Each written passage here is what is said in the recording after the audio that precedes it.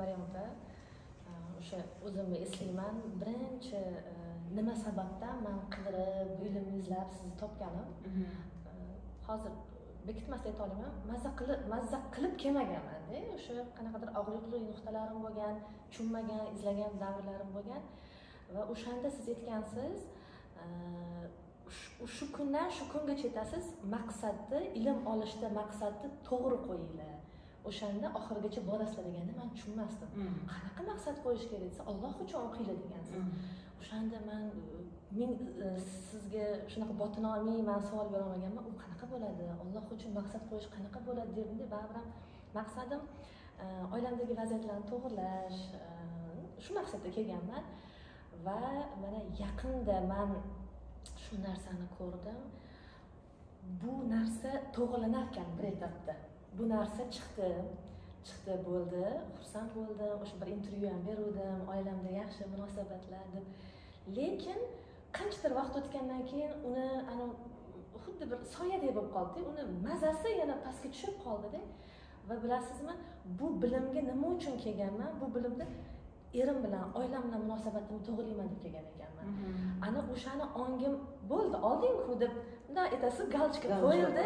bo'ldi. Man hozir sizga aytaman ilmga bilimga bo'lgan ozgina qiziqishim stремление вот этот вот drayv borku sal susaydida mhm.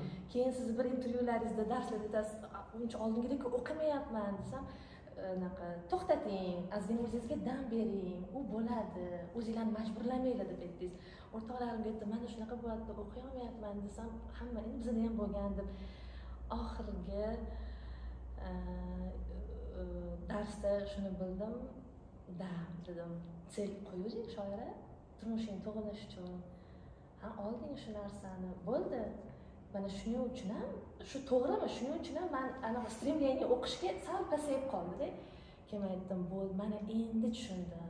Olloh uchun ради истины allohni roziligi uchun maqsad shunaqa bo'lishi kerak ekan. Mana shunda biza tinmay ketaverar ekanmiz dedimda и o'zim uchun это yangi nima qilib maqsadmi dasturmi qo'yib olib shu narsa to'g'ri man anaqa qildimmi hozir?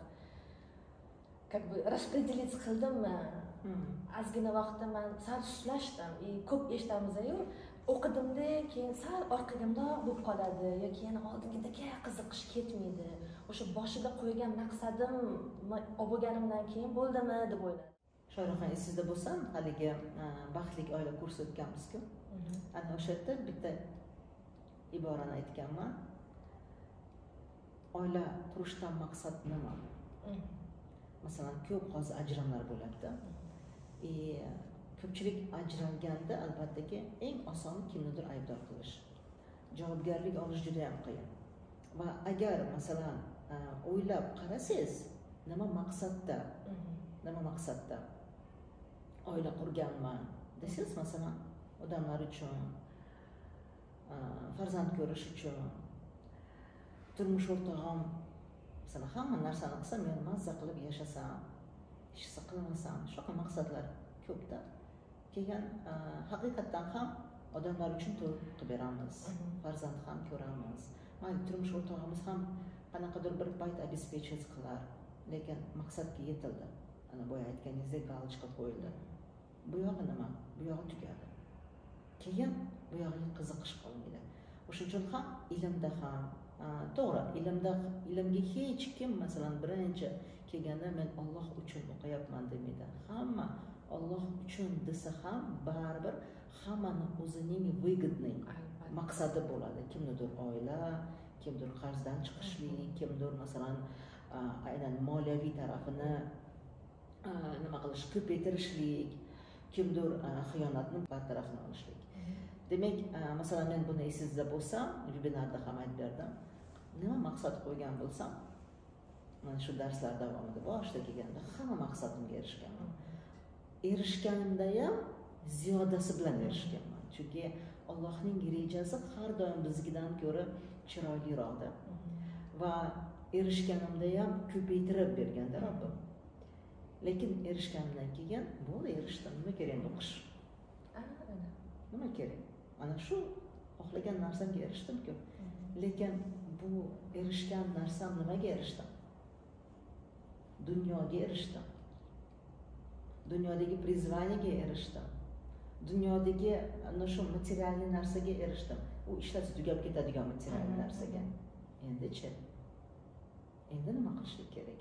Mana shu yerda mana shu yerda ko'pchilik qolib ketadi.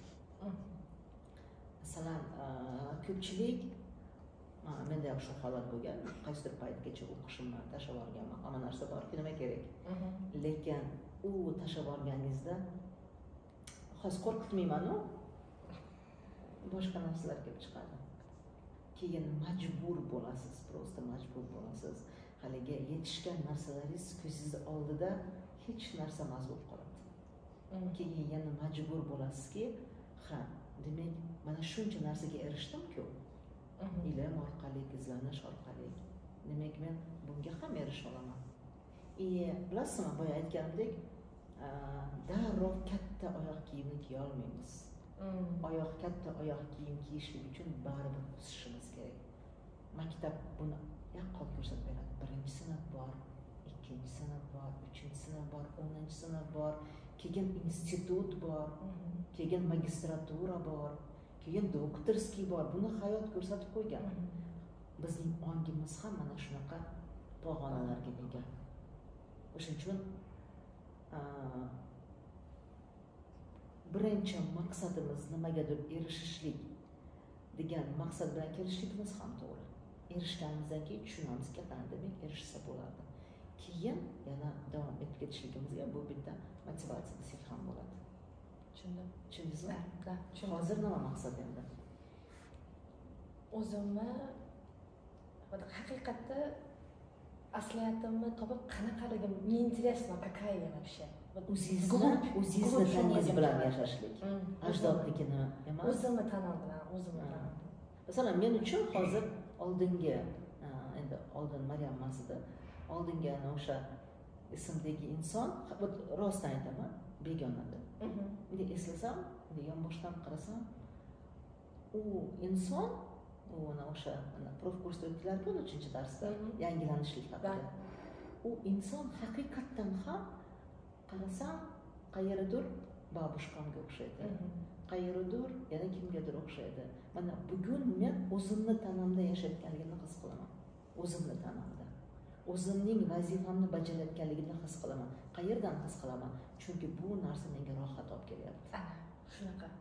Xuddi anavi o'zimni tanigan sari мне так qiziqda интересно shu narsa ekan. O'zingizni tanib bilganingizdan keyin hamma e, qanaqa robbim sizni mana mukammal yaratgan muhabbatda yaratgan deganimizni ko'p eshitganmiz lekin buni his qilish kerak ekanda ozginasini his qilganingizdan keyin u yerda joy qolmas ekanda. Чтобы atrofi yomonligini ko'rish shunchalik o'zingiz bilan band bo'lar ekansiz o'zingizga qiziq bo'lib ketaverar ekansiz yana qanaqa qobiliyatlarim bor yana qanaqa iste'dodlarim bor? Aytganingizdek man buvimni yoki onamni e, tanlovi bilan emas mani o'zimni tanlovim bor ekan o'zimni tanlash huquqim bor ekan. Mana ustozim aytyaptilar bo'lyaptiku bizada ham bo'ladi degan manda albatta.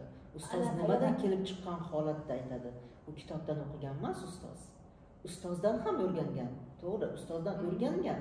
Lekin mana shu ustozdan o'rgangan yo'lini qadamma qadam qadamma qadam bosib o'tgan. Masalan menga ustoz aytgan endi konsultatsiya qilsang bo'ladimisan? desa men aytganmanki konsultatsiya qilamanmi?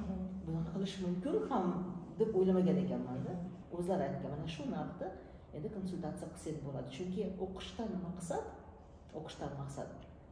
Boshqa maqsad yo'q faqat o'zimni mana shu hayotiy muammolarimni yechib mana shu o'zimni orzularimga o'zimni orzularimga erishib to'g'ri e, meni orzularim ichida oldin meni orzularim degan orzularim ichida mening orzularim yo'q edi ekan. Endi ekan endi hozir mana qo'ygan orzularim bu meniki deb bilaman chunki haqiqatdan ham ana shu yerga nima deydi meni ko'nglim chopadi. Haqiqatdan ham ana shu orzuga erishishlik uchun harakat qilayotganligimda menda og'irlik menda yuk menda qiyinchilik degan narsa yo'q.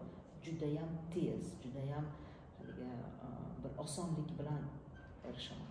Alhamdulillah. Bu hammasi ilmni orqasidan ilm ilm bu shunaqa narsaki toki e, masalan shayx muhammad sodiq muhammad yusufdan so'rashganda faqat qur'on o'qish kerak deganlarida yo'q fizikani ham o'qinglar matematikani o'qinglar biologiyani o'qinglar degan agar matematikani yaxshi bilsangiz qur'onni zo'r tushunasiz hmm. qur'on matematika hmm.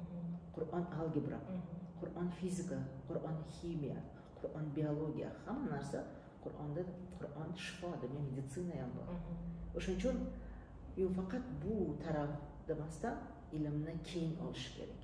Masalan men bugungi kungacha judayam ko'p metodlar o'qiganman. Judayam ko'p bilimlar o'rganganman va bildimki shu hammasi bir bo'lib turib agar buni qur'on bilan birlashtiradigan bo'lsangiz hammasi qur'onda bor. Lekin ularni bilmasdan qur'onni o'zini o'qisangiz qur'on o'zining go'zalligini ochib bera olmas ekan